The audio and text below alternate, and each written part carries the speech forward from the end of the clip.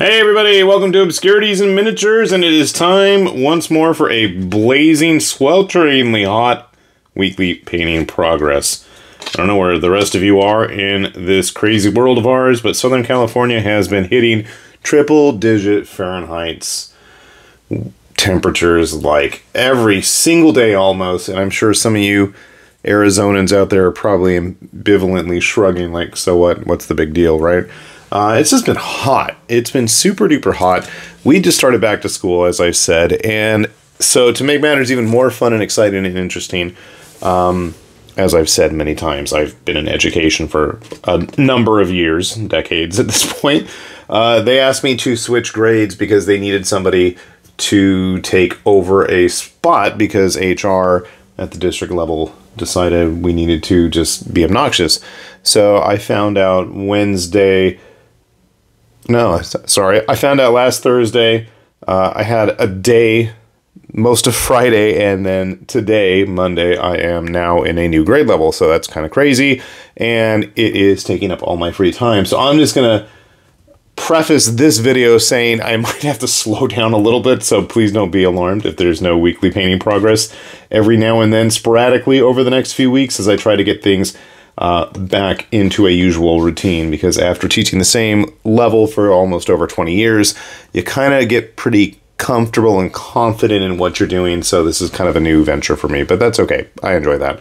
Hopefully, I might eat those words later. And so today is another clean off the table day.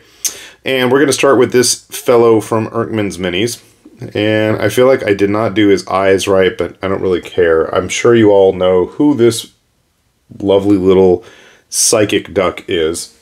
I'm sure he's not related to any Pokemon or anything. No, no, sorry. And I think his feet are supposed to be a different color, but you know what? I don't care. I was like, he's been hanging around. I haven't done anything with him. It's time to get him just moved on. And speaking of other models from Irnkman that needed to get done and move on, I give you Blaze from Arknights, who, after all these years, has still yet to come home to me. Funny fact if you look right here on that red strap on her chainsaw, you'll notice a big gap for where the strap is supposed to connect.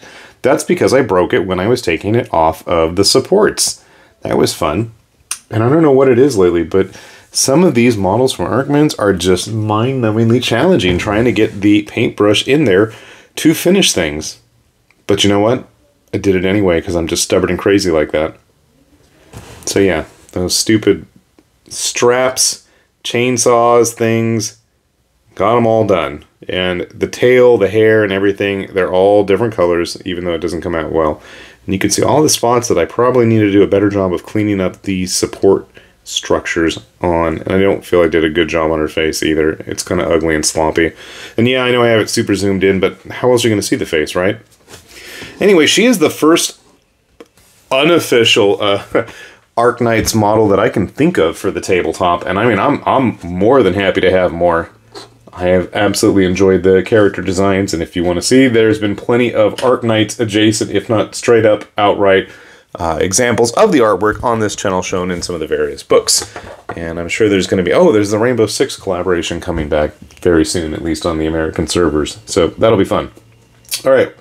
Besides those two, because Irnkman never uh, has a dull moment for me, there's always something. I've got like a bunch of the Guilty Gear models, like Johnny and uh, ABBA sitting around. I think it was ABBA, right? Right. I'm going to get those done. I was deciding to paint a bunch of random old Conquest models.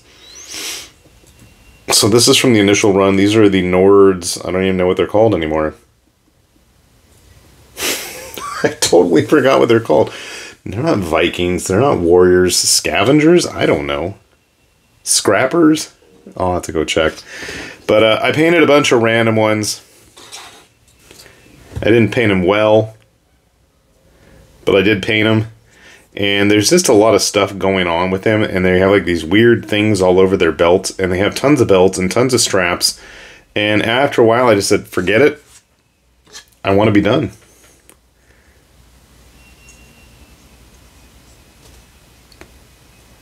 Again, I know it's super zoomed in, so at least from a distance, you know, I don't think the average player is going to be as discerning. Got plenty of Nord stuff finished at this point anyways. I think they're probably my most painted faction, come to think of it. But uh, we'll just keep plugging away at those. I had them handy. Not as nice as the newer sculpts. Those are the pre uh, produced stuff, but they're decent. With the interesting news that we're going to be seeing uh, new versions of the Men at Arms in the future, uh, who knows? Maybe we'll see some more of these guys getting redone in some better poses. I, I feel like some of them are kind of silly.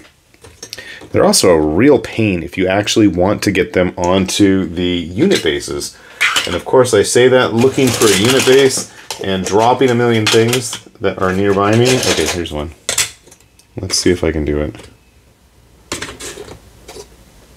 You know what's gonna suck is I say that and like I fought with them. With these guys all week just to try to see if I can fit them on a base. And naturally, now they go. Maybe if I swap them out and put them in different spots. Maybe that's part of the problem. I don't know, I guess that's the name of the game is can you play Tetris or musical chairs well enough to get all of these models sticking their limbs out in every possible direction onto a base. And finally, this week, another model that's been sitting around way longer than she needs to have, and that is the uh, Lunar Twilight Knight Aya. Was that what she was called? So, after spraying the sealer on it, I'm noticing like the silver, it was a lot more pronounced prior to that, but now it looks kind of blah and subdued. So I probably need to go back and put something on there. I didn't do a great job on her. I'll be the first to admit. And I kind of got bored and gave up because I just couldn't tell what was going on. And I still don't know what this weird thing is on her sword. It looks like an extra blade or something, but it was colored like part of the scabbard, so I don't know. I didn't even bother trying to paint a light or anything on the lantern this time. Good enough, though. I mean, for the most part, you can see I, I did try. I didn't do the best job on the face, but we got most of the paints in the right spot. Got rid of almost all of the weird splotches that I inevitably get on models. So that's a good thing. I'm just happy she's finished. I finally got it done. I'm looking somewhere. I thought. I keep thinking there was a big version of her. I know there was a big version of the first Lunar Twilight Knight. I had my dad paint that one. I'm gonna have to see if I can find it. I don't know. Now I'm doubting myself. Anyways, I just thought it was fun to have another one done. I'm gonna have to see if I have any more of these models laying around for him to paint because those are always fun. But progress is progress, right? You know what's sad is I have barely touched my 3D printer and there's so many cool models and i know MyMiniFactory's got the big sale going on right now and i've got some really neat stuff that i grabbed and i haven't bothered to print it yet because it has been so stinking hot. And i'm sure my neighbors are wondering what the heck i'm doing out in my garage with all the doors open and with all the lights on at like 10 30 11 o'clock at night because that is the only reasonable time to go out there and play with that printer right now. It's just awful. So hopefully if things can cool down uh, even inside or outside the house, we will see some of the fruits of those endeavors, hopefully in the very near future. Hopefully, all of you out there are trying to stay cooler than I am currently. Hopefully, you are enjoying your last vestiges of summer, if you even have one.